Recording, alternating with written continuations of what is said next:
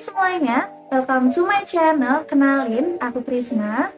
Di video kali ini, sesuai judulnya, aku mau nge-review salah satu sunscreen terbaru, yaitu dari Hana Sui yang Collagen Water Sunscreen. Jadi, bagi kalian yang penasaran, just keep on watching. Nah, sekarang kita langsung aja lanjut. Kita mulai dari packagingnya aja. Nah, jadi Hana Sui Sunscreen ini, dia datangnya kayak gini. Packagingnya itu ada karton dan ada plastiknya kayak gini.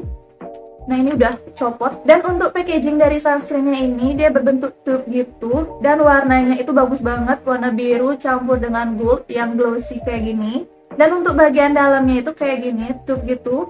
Dan sebenarnya untuk bagian sini ada tutupnya gitu juga, yang kayak hologram gitu tapi karena ini udah aku pakai sekitar semingguan jadi udah aku lepas untuk bagian depan packaging dari sunscreen ini ada tulisan Hana Sweet Collagen Water Sunscreen WV plus Pollution Protection with Collagen dan di sini SPF-nya ada 50 dengan PA++++. Dan untuk bagian belakangnya di sini udah lengkap banget. Di sini ada keterangan kandungannya, cara pakainya, dan ada juga expired date-nya. Dan untuk bagian belakangnya juga udah lengkap banget. Di sini ada kandungannya, ada ingredientsnya yang lebih banyak gitu, ada cara pakainya, dan ada peringatannya untuk kalian yang mau nyoba-nyoba pakai sunscreen ini kayak gitu. Nah, aku mau bacain dulu yang bagian atasnya sini ada tulisan Triple Power Protection.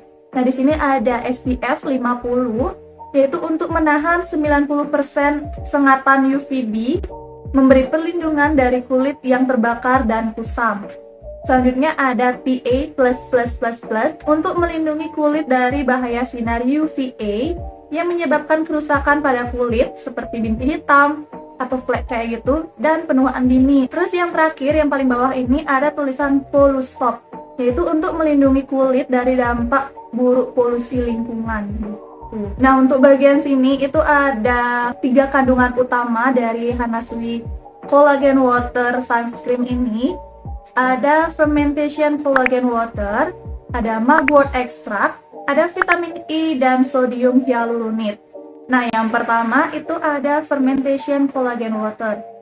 Nah, fermentation collagen water ini mengandung asam amino dan peptide untuk melembabkan kulit secara maksimal. Jadi kalian yang punya kulit kering itu pasti bakal suka banget sama sunscreen ini karena dia benar-benar ngelembapin dengan maksimal gitu. Tapi ini juga nggak kalah bagus untuk kalian yang punya kulit oily atau berminyak dan kombinasi. Karena sunscreen ini emang ngelembapin gitu dari dalam, bukan buat kayak berminyak kayak gitu. Nah selanjutnya ada mugwort extract. Di mana mugwort extract itu sekarang lagi viral banget kayak hampir di semua skincare itu ada aja uh, kandungan mugwort ekstraknya gitu. Dan untuk mugwort ekstraknya ini dia berfungsi untuk membantu menenangkan kulit dan menghaluskan kulit dengan manfaat antiinflamasi yang dapat digunakan untuk semua jenis kulit, bahkan kulit sensitif. Dan yang terakhir ada vitamin E dan sodium hyaluronate. Nah, di sini berfungsi untuk antioksidan alami yang menghaluskan, menghidrasi, dan melembabkan kulit. Karena sunscreen ini emang nggak ada ngeklaim bahwa dia ini uh, no alcohol dan no fragrance gitu. Jadi di kandungan atau di ingredientsnya dari sunscreen ini masih ada alkohol dan juga fragrance-nya. Tapi dari alkohol dan fragrance ini emang ada di akhir-akhir ingredients gitu, di ujung-ujungnya gitu.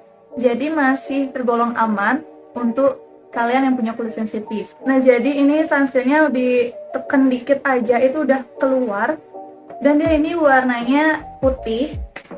Ini dia warnanya putih dan agak uh, watery gitu. Karena emang nama dari sunscreen ini collagen water ya. Jadi emang watery kayak gini.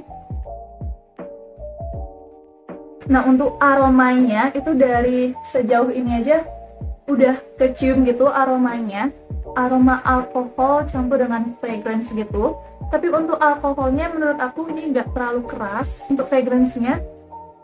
Menurut aku ini enak. Ya ada sedikit sedikit aroma aroma bunganya gitu. Aku nggak tahu ini aroma apa. Cuma emang nggak ngeganggu di hidung aku Nah jadi ini aku pakainya dua jari kayak gitu lalu aku baurin seperti biasa ke muka aku. Nah ini kelihatannya kayak ada white castnya gitu, tapi tenang aja setelah dibaurin terus kayak gini, dia bakal bener-bener nyerap banget ke kulit dan gak ada white cast sama sekali. Oh iya, sunscreen ini juga ada sensasi dinginnya gitu waktu kita aplikasikan ke kulit. Seperti yang kalian lihat, ini hasilnya dia uh, lembab dan glowing gitu.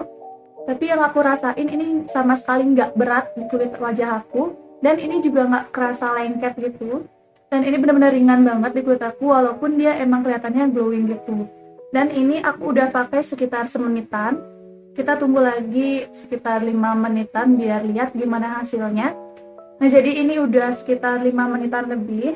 Dan seperti yang kalian lihat dia efek glowingnya itu masih ada di kulit wajah aku. Dan dia ini benar-benar nggak berat sama sekali. Dan dia juga nggak lengket. Ini ya aku bandingin di uh, punggung tangan aku. Ini tadi yang nggak pakai sunscreen dan ini yang pakai sunscreen dari Hana Sui. Kalau bisa kalian lihat yang ini itu dia lebih glowing kayak gitu. Tuh. Sedangkan yang kanan yang ini nggak ada efek glowingnya. Dan menurut aku dia juga mirip sama sunscreennya Azarin karena ada efek coolingnya gitu. Tapi bedanya kalau sunscreen Azarin itu dia lebih matte di kulit wajah aku kayak emang bener-bener nggak pakai sunscreen sama sekali. Tapi untuk yang Hanasui ini dia masih kerasa tapi nggak berat juga. Cuma emang kerasa dan efek dinginnya itu masih lebih keras yang Hanasui daripada yang Azarin kayak gitu. Udah ya segini aja untuk review dari sunscreen Hanasui Collagen Water Sunscreen ini aku mau simpulkan aja bahwa aku suka sama sunscreen ini karena untuk harganya itu terbilang terjangkau untuk 29.000 untuk sunscreen yang isinya itu 30 ml. Terus selama pemakaian kurang lebih semingguan ini, aku nggak ngerasa kulit wajah aku itu jadi tambah breakout atau jerawatan atau gatel nggak sama sekali dan selama aku pakai dari uh, jam sekitar jam 7 sampai jam 12-an itu um, berminyak sih berminyak tapi enggak yang uh, banyak banget minyaknya gitu enggak. Uh, apa namanya cuman di sekitar T-zone aku aja emang karena di situ rada berminyak gitu tapi enggak yang banyak banget juga enggak. Itu yang aku suka sih dari sunscreen ini ya. Dia nggak nambah minyak sama sekali di wajah aku. Ya normal-normal aja gitu uh, udah segini aja. Kalian kalau suka dengan video ini bisa beri like dan komen di bawah ya. Dan jangan lupa untuk subscribe juga. Kalau kalian pingin subscribe tolong di subscribe kalau nggak pingin di subscribe juga nggak apa-apa. Udah segini aja. I'll see you on the next one. Bye